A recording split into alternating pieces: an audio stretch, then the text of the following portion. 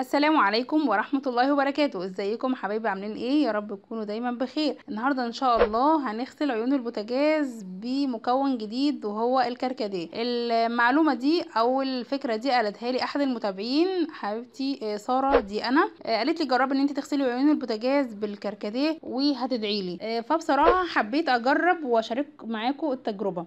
فدلوقتي اللي عندي ده اسمه كركديه اللي ما يعرفش شكله هو بيكون مجفف بالشكل ده. دلوقتي هحطه في الحلة وهضيف عليه مية حطيت حوالي أكتر من نص الحلة مية بحيث إن هي تغمر كل العيون البوتاجاز عندي. وهسيبها تغلي. بعد ما غلت بالشكل ده بقى زي ما أنتم شايفين كده هو لونه بيكون أحمر. هحط دلوقتي حوالي نص كوباية من الخل خل الأبيض بتاع الطعام العادي. وبعد كده هنزل طبعا عيون البوتاجاز. زي ما أنتم شايفين كده معايا شكلها طبعا آه، يعني أنا حبيت إن أنا أعمل الحاجة عملي بحيث إن أنا ما أجيبش عيون نظيفة وأنضفها معاكم لا هي يعني زي ما أنتم شايفين كده متسخة شوية عشان ما حدش إيه يعلق أو يتكلم معايا بعد كده هسيبها منقوعة لمدة ليلة كاملة.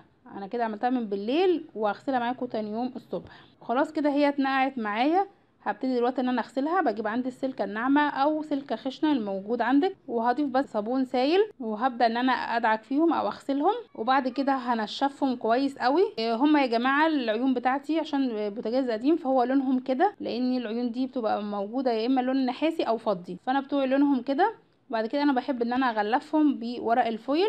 وكمان عندي هغير ال sticker أو اللزقة بتاعه الإزاز بتاع غطا البوتاجاز. كده شكلهم طبعا بعد ما غلفتهم بورق ال foil بيدولي لمعة حلو بيحافظولي عليه من الاتساخ. وغسلت طبعا البوتاجاز كويس وغيرت كمان اللزقة. آه، بقى شكل البوتاجاز جميل قوي زي ما أنتم شايفين معايا كده. آه، بتمنى يا بنات آه، التجربه تكون عجبتكم وتشاركوها مع أصحابكم زي ما أنا شاركتها معاكم. وما تنسونيش بقى في ال like. والسلام عليكم ورحمة الله وبركاته.